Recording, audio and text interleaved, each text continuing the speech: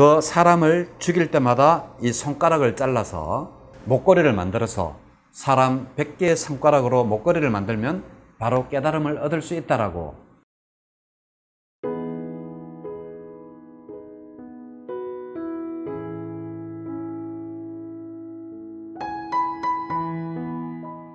안녕하십니까? 마음치유 행복도량 대구 구룡사주지 도일입니다. 오늘은 스승의 그 가르침을 맹목적으로 믿은 앙굴라 마라에 대해서 어, 말씀을 드리고자 하면서 맹목적인 믿음이 얼마나 위험한지에 대해서도 동시에 말씀을 드리도록 하겠습니다 앙굴라 마라는 여러분들이 잘 아시다시피 99명을 죽여서 그의 손가락을 이렇게 잘라서 손가락으로 이렇게 목걸이를 이렇게 만들어서 다녔던 그러한 사람입니다. 그런데 잘못 알고 계시는 게 있습니다. 이 앙굴라마라는 처음부터 그렇게 잔인한 사람이 아니었습니다. 앙굴라마라는 굉장히 잘생겼다고 합니다. 지금 이렇게 사진이나 이렇게 그림을 보면 굉장히 앙굴라마라를 험상궂게 그리는데 그 경전에 보면 앙굴라마라는 굉장히 잘생겼습니다. 그래서 이 수행하는 스승의 그러니까 앙굴라마라의 스승의 아내가 앙굴라마라를 굉장히 많이 유혹을 했습니다. 그런데도 불구하고 앙굴라마라가 이 스승의 부인이 유혹을 할 때마다 자꾸 거절을 하니까 앙굴라마라 스승의 부인이 이제 드디어 화가 나서 이제 모함을 하는 겁니다.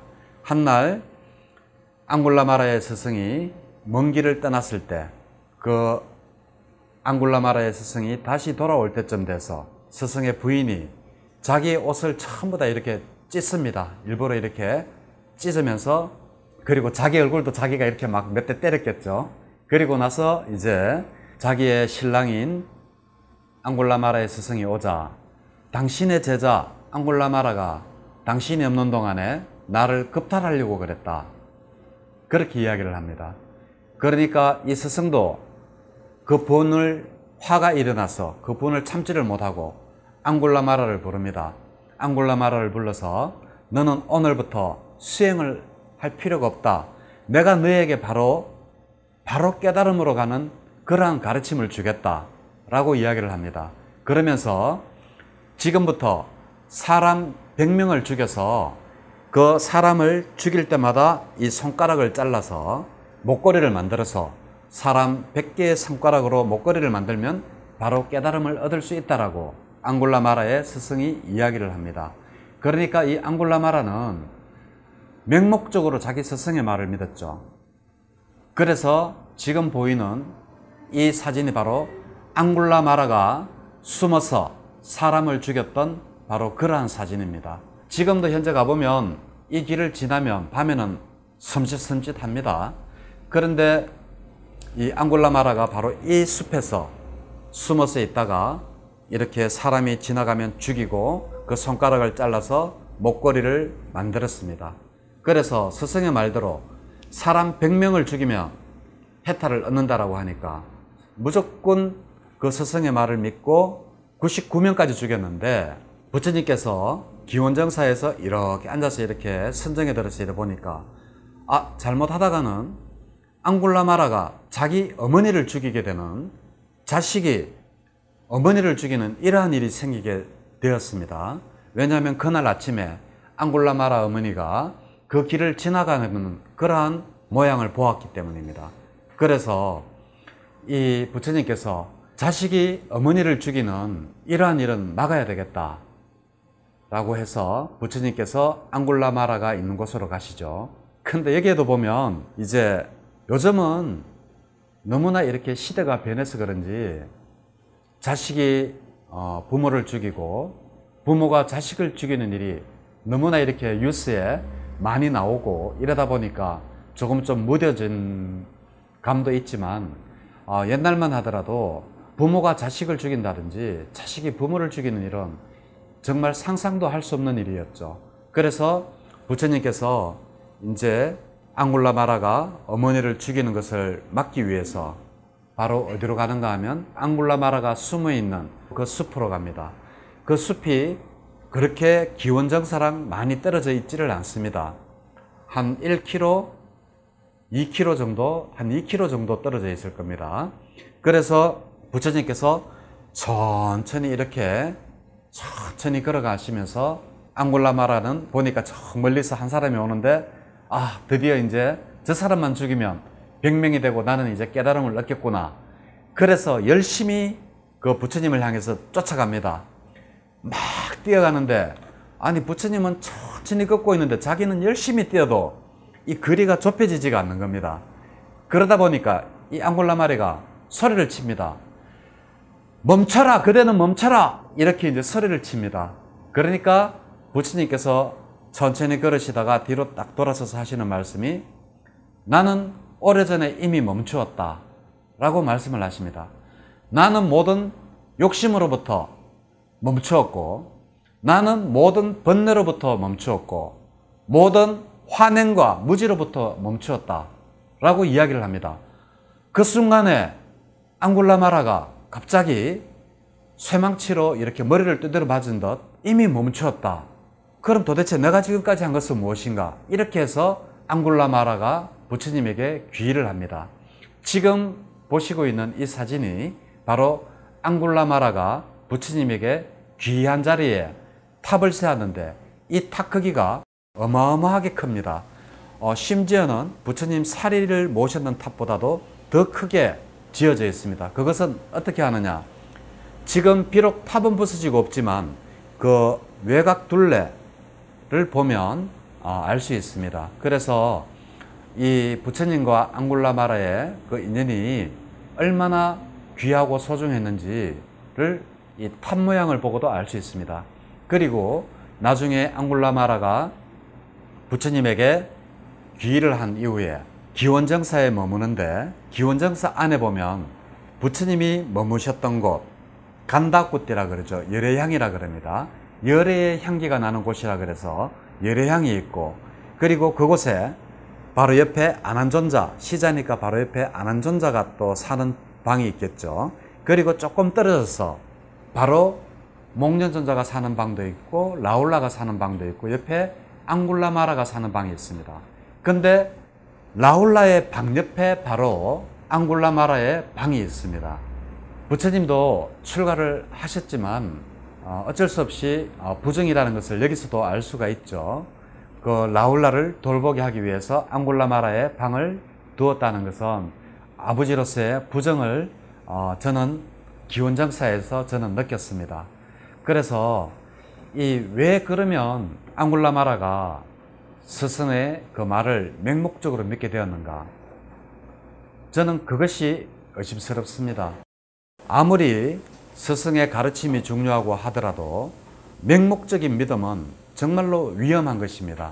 그래서 부처님인 당신조차도 부처님조차도 항상 저희들에게 말하지 않았습니까?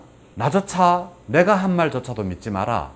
그리고 항상 와서 내 말이 맞는지 안 맞는지 와서 봐라라고 이야기를 하지 않았습니까? 그런데 이 앙굴라마라는 그러한 어, 판단도 없이 맹목적으로 스승의 말을 믿었기 때문에 사람을 99명이나 죽였죠. 그리고 귀의를 하고 난 다음에 앙골라 마리도 나중에 동네 사람들에게 맞아서 죽죠. 나중에는 맞아서 죽습니다. 왜냐하면 비록 부처님에게 기의를 했다라고 하고 이 탁발을 나가야 되지 않습니까? 이 모든 스님들은 탁발을 나가는데 앙굴라마라가 탁발을 나가니까 사람들이 놀래서 코살로곡이죠. 그 기원정사에 있던 그 마을에 살던 임산부들이 아기를 유산을 해버린다든지 그리고 사람들이 놀라서 도망을 간다든지 이러한 일들이 비일비재했다라고 합니다. 그래서 한번 잘못된 맹목적인 믿음으로 인해서 어, 앙골라마라는 결국 나중에는 그 사람들 손에 맞아서 결국은 죽게 됩니다. 그러면 왜 이렇게 앙골라마라는 맹목적인 믿음을 가지게 되었을까요? 그것은 바로 확실한 교리와 확실한 수행법을 몰랐기 때문입니다.